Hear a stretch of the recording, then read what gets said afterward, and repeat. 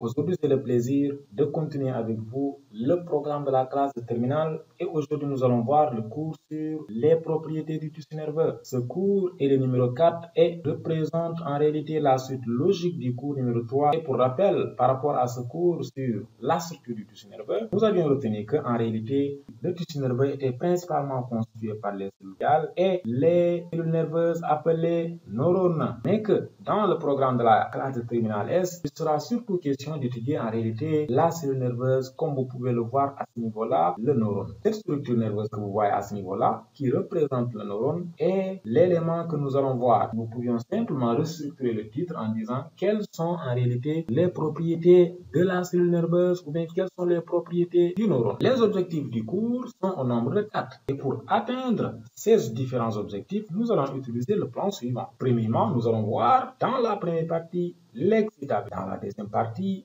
la conductibilité. Et à la fin du cours, vous aurez droit à un bonus. Et je tiens à préciser que la fin de la vidéo peut ne pas coïncider avec la fin du cours, car le cours peut être constitué d'une vidéo ou de deux vidéos. Sans plus tarder, abordons la première partie. Et dans cette première partie, chers élèves, il sera question de démontrer que l'excitabilité est une propriété de la fibre nerveuse. Pour arriver à cette fin, nous une expérience de mise en évidence de l'excitabilité du neurone. Pour cela, nous allons isoler un muscle de la partie postérieure d'une grenouille et son nerf. Puis, on va apporter une excitation en un point A de ce nerf. Chers élèves, le, le document que vous pouvez voir à ce niveau-là représente une patte de grenouille avec son nerf moteur. À côté, vous avez un dispositif constitué par un interrupteur, une pile de 6 volts et des excitateurs. Après avoir excité le nerf, le muscle qui est en réalité innervé par ce nerf-là a réagi. Conclusion de l'expérience, le nerf est excitable parce que à la suite de son excitation, c'est le muscle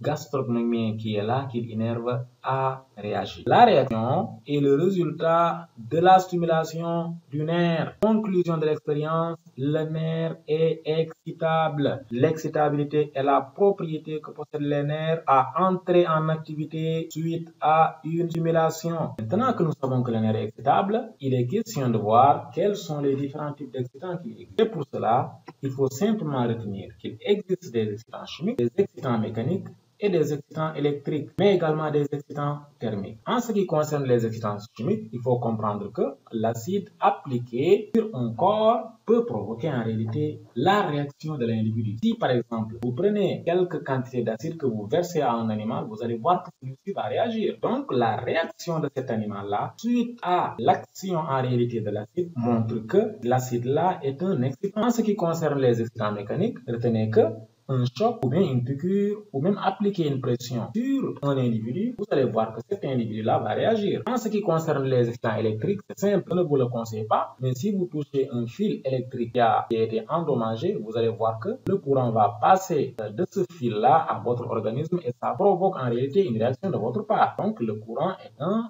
mais également il faut comprendre que la chaleur ou la fraîcheur sont également des excitants. Donc voici les différents types d'excitants qui existent, mais en ce qui concerne le programme de la classe de terminale S, retenez que de tous les excitants qui sont là, le courant électrique est le plus utilisé, ce qui fait qu'en réalité, le courant électrique ne lèse pas les fibres nerveuses, mais également il est contrôlable au laboratoire. Voilà, chers élèves, maintenant que nous savons que le nerf est stable, que nous savons qu'il existe plusieurs types d'excitants, dont le courant électrique, nous allons maintenant voir les conditions d'une excitabilité efficace. Et pour cela, nous allons mettre en évidence des conditions de cette excitation. Comme le montre l'expérience suivante, on vous dit un nerf sciatique est relié à un dispositif permettant sa simulation et l'enregistrement des modifications de ce dernier. Le tableau ci-après résume la tension appliquée en fonction de sa durée d'application à chaque fois qu'il est excité, comme le montre le tableau suivant. Chers élèves, voici le tableau qui a été obtenu à la suite de l'expérience. En ce moment du cours, je vous invite à toucher sur le bouton pause et à aller en réalité passer ce document-là pour revenir et continuer en réalité la vidéo. Après avoir tracé, normalement vous devez avoir une courbe qui a cette allure-là. Dans cette courbe-là, chers élèves, les paramètres qui nous intéressent sont l'intensité du courant, mais également la durée de la stimulation de ce courant électrique sur la fibre nerveuse. Et il faut comprendre que on a commencé à noter en réalité à ce niveau-là mais il faut comprendre que l'expérience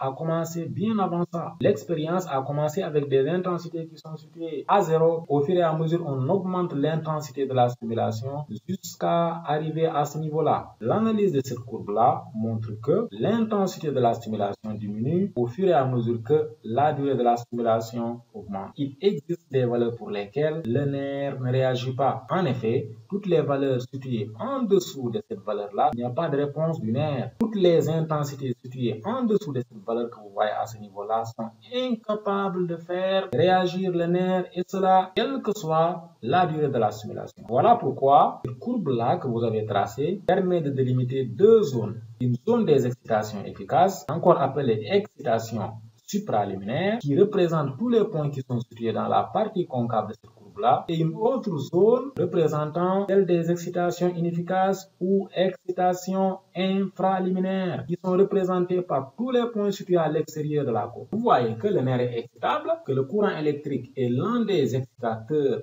de ce nerf-là, mais pour que ce courant électrique puisse exciter le nerf, il faut principalement en réalité une intensité minimale appelée réobase. Mais que ça ne suffit pas, mais que cette intensité minimale-là, appelée réobase, pour qu'il soit capable de faire réagir le nerf-là, il va falloir qu'il soit appliqué pendant un temps donné. Ce temps donné-là est appelé temps utile. Vous avez deux paramètres à considérer. Vous avez à considérer une intensité appelée réobase, qui est l'intensité minimale à partir de laquelle le nerf commence à réagir si toutefois il est excité avec un courant électrique de cette intensité réobase. Cette excitation doit être appliquée pendant un temps utile. Et il faut comprendre que chez l'élève, plus un nerf est excitable, plus la réobase est faible et plus le temps utile est court. Vous connaissez la réobase, vous connaissez le temps utile. Si vous doublez cette réobase-là, par exemple, en doublant cette intensité-là, nous arrivons à cette valeur qui est là, qui est le double de la réobase. Voilà pourquoi on a écrit ici 2R, ça veut dire double de la réobase. Si vous prenez ce point-là, vous le projetez orthogonalement sur la courbe, vous coupez cette courbe-là. Le point que vous obtiendrez, vous le projetez orthogonalement sur l'axe des axes, vous allez retrouver en réalité la chronaxie qui est un autre paramètre lié au temps. Et il faut comprendre plus un nerf est excitable, plus sa réobase est faible et plus sa chronaxie est courte. Les principales informations que nous devons tirer à travers cette courbe de la pique qui allie la durée et l'intensité est liée au fait qu'il existe des intensités pour lesquelles le nerf est inexcitable, comme le montre la figure ici et comme le montre la zone des excitations efficaces. Il montre qu'il existe une intensité à partir de laquelle le nerf commence à il est excité avec cette intensité-là pendant un temps appelé temps. À partir de cette intensité, le nerf commence à réagir.